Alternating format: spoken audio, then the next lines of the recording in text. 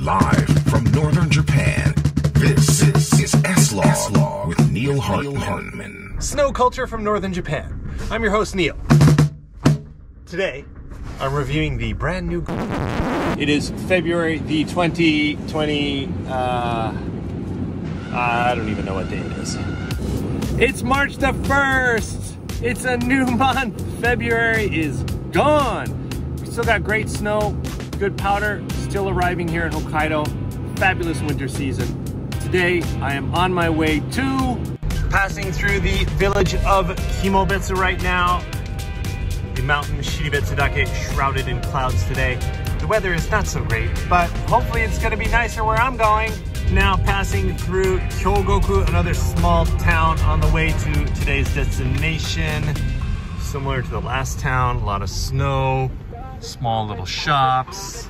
Okay, I just stopped on the side of the road here just to get a sort of sense of the land and the, the view.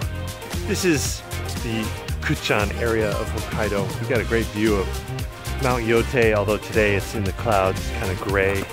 But you can see it's mostly farmland, a lot of natural rivers, beautiful scenes here. Maybe 30 more minutes of driving time. Let's get back in the car. Cruising through Kutchan, this is the economic powerhouse of the greater Niseko area. The word Niseko, the name Niseko and the town Niseko is more famous around the world, but it's a very small town. The actual centerpiece or the, the economic power lies in the town of Kutchan. Population about 20,000. It's a farming town, it's a military town for the self-defense force as well.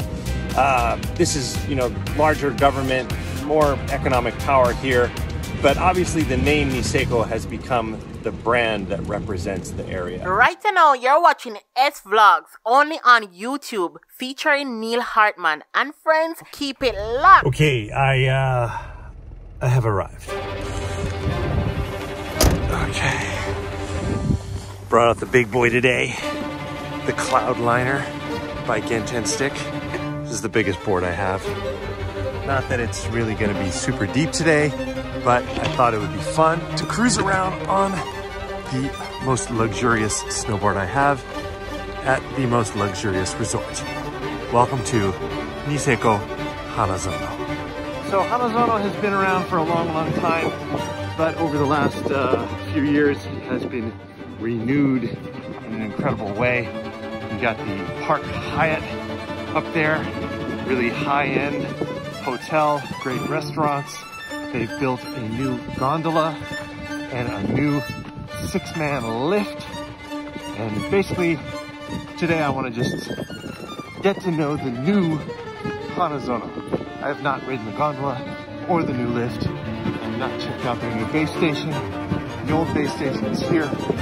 This is now uh, rental, retail, ticket sales, rental shop, indoor kids activities. The base station is way over there. Okay. Let's uh, go get a lift ticket, ring the bell.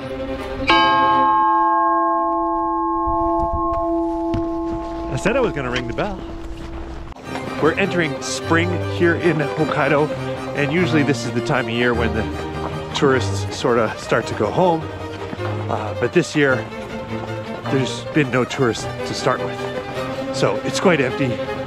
I do feel really bad for these resorts who've spent so much money and so much time renovating and making everything look good for the visitors.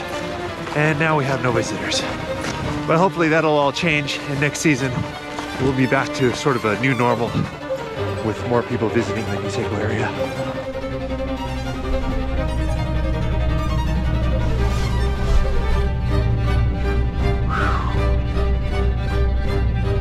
Wow. This is wild. I got a brand new Poma Sigma cable line symphony cabin. All to myself.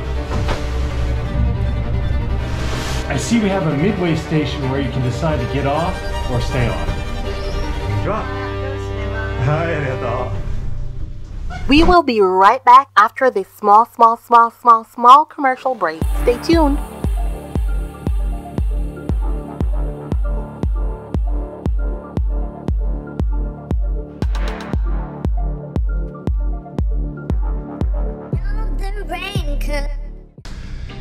You got a brand new gondola that fits 10 people with a really high-end hotel at the base, great food, bar, etc.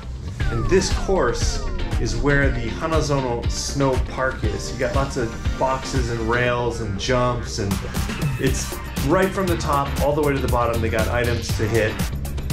Definitely well designed. So if you're a family with kids who want to ride some park and maybe get into the trees a little, you know, you can traverse into the trees and get some powder as well. This is like the optimum setup. You've got your room with a view of the course. You've got great food and drink options. And the family can get in this nice, beautiful gondola and do laps on the park all day long. I like it, okay? My first impression, gondola is beautiful. It's brand new. You've got this amazing view out those big windows. It's smooth, it's quiet. You got that mid station if you want to get off early. The wood paneling and the construction is really nice.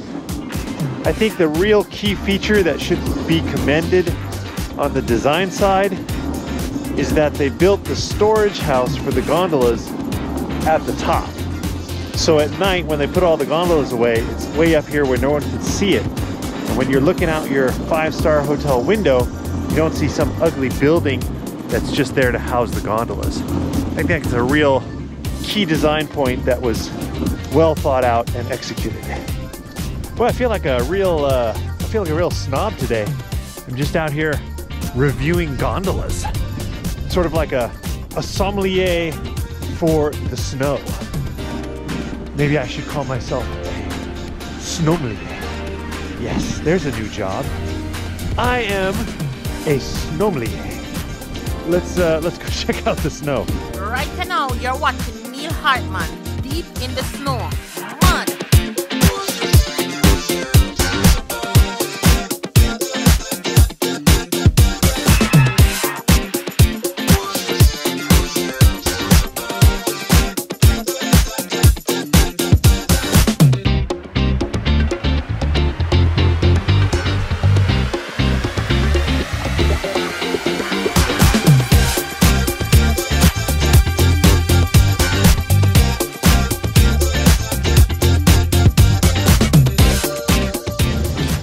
Okay, so to better help you understand where we are today, I brought along my little Niseko map.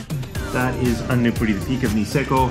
You have Niseko Annupuri Resort way over here on the left, Niseko Village sort of in the middle, Grand Hirafu right here, which is what most people think about when they think Niseko. And then Hanazono is this section way over here on the far right. This map is a little old, so it doesn't show the new gondola or lift, I believe it's going somewhere like uh, like this.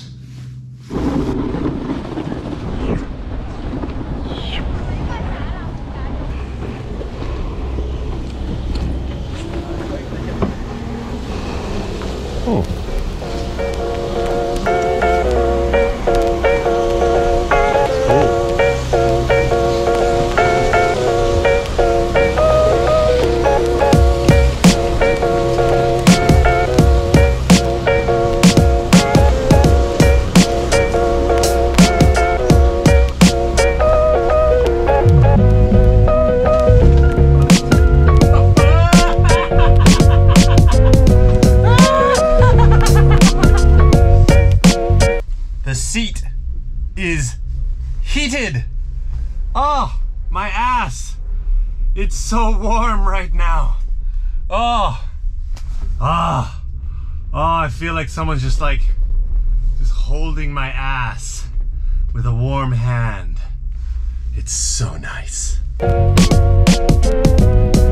how you doing over there? Just switched over to the new six-person lift. Wow. Also made by Poma. Another beautiful piece of design and engineering here. Really nice leather seats. And as I said, you can feel the heat on your ass. Ah, it's nice because my ass was kind of cold there actually. I was getting cold ass. Now I've got warm ass. How many times can I say ass in one video? Japan had its huge skiing boom back in the uh, the 80s, I guess, during the economic bubble. Everybody had money, they were out partying, they were going to ski resorts, so a lot of development was done at that time. I think at the time there were like 700 ski resorts across Japan. I'm sure that number is way down now. A lot of them have gone out of business. And a lot of the resorts are left with old lifts, pair lifts, there's a lot of single lifts, uh, and eventually they get too old and they can't run them anymore. Well, my ass is cold again. There ain't no heating on this one. Not even a bubble. At least I have a safety bar. That's kind of a bummer. Luxurious six-man heated chairlift to the open ass cooling four-person chairlift. Niseko United is a group of resorts. They're separate companies. You have Hanazono, Hirafu, Niseko Village, and Niseko Annupuri. But you can buy one lift ticket that gives you access to all those mountains. Great for the consumer. How do they split up the money at the end of the day? Well, first, it depends on where you buy your ticket. So if you bought your ticket at Hanazono, they get a larger percentage of that ticket share.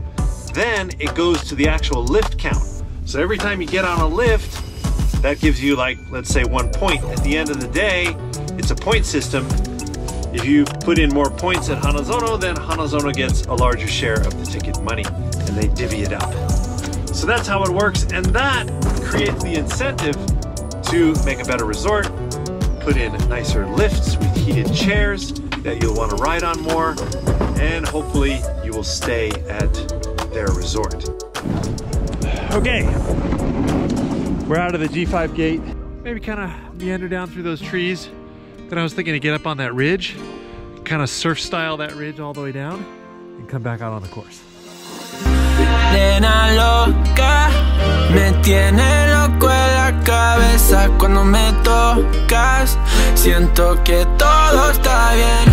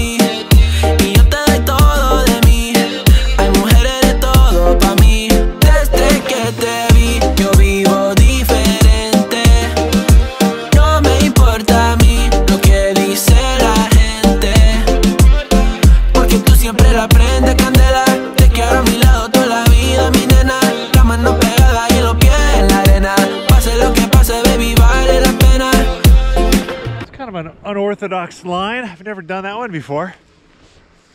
Is a bit of a traverse, but it's like having that backside lip all the way down the ridge. That was kind of fun. Thanks to the Cloud Liner. A lot of interesting things you can do on a big board like this. This time I'm gonna go down the, the front side wall. Looks really nice in the trees, some snow there, kind of a surf style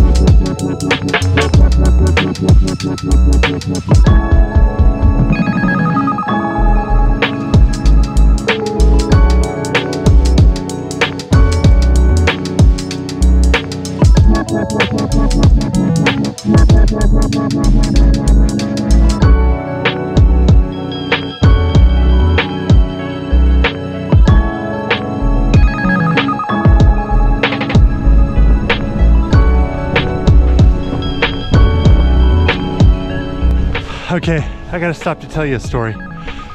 Back in the day, there were no gates here in Niseko. It was all illegal to ride in the trees. It was all roped off. Basically had a, a lift station right where that new one is now, and it was roped off. So to come in here and ride the legendary strawberry fields, as it's known, you would basically have to come on like really stormy days when visibility was so bad that the patrol couldn't really see us. And we would duck the rope and just scoot in here, this little flat spot. We'd try to get past it and into the trees as quick as possible so that we wouldn't get spotted. And then you would ride through the pillows. It was great. And again, same thing. You had to be really careful when you came out on the course. You had to duck another rope to get back out. And you wanted to like, you know, scout, make sure there was no patrol around. It was a pain in the ass.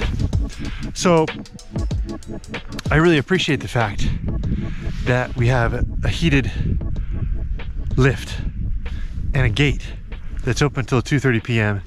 and allows you to access all this great terrain. Things have changed for the better.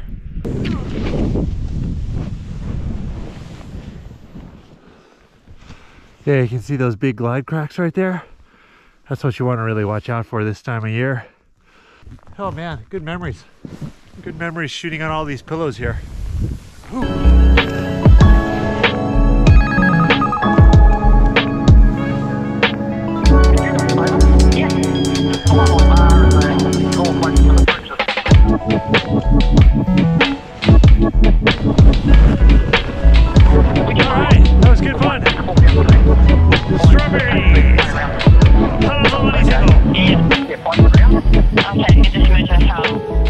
note about lunch. The Edge Cafe and Bar. Very nice, big open space, nice sort of cafeteria. It wasn't as expensive as I thought it was going to be, and lunch was quite good. I went with the curry, a deep fried pork cutlet on top of nice fluffy white rice with a really delicious, tiny bit spicy curry sauce. Mmm, did that sound good? Um, you can't go wrong in Japan with the katsukare. That's what it's called, katsukare. So if you come to Japan, you go to a ski resort, you're hungry for something, you don't know what to get, just go with the katsukare. This is Neil Hartmann's S Log. It's all about the snow. Had to get a really nice flat white at the Hana1 Cafe. They've been here for a long, long time. Used to be a prefab container over there by the old lift. Now right here at the edge of the edge. At the edge of the edge? Did I just say that? That sounded weird. Mmm. Very good coffee.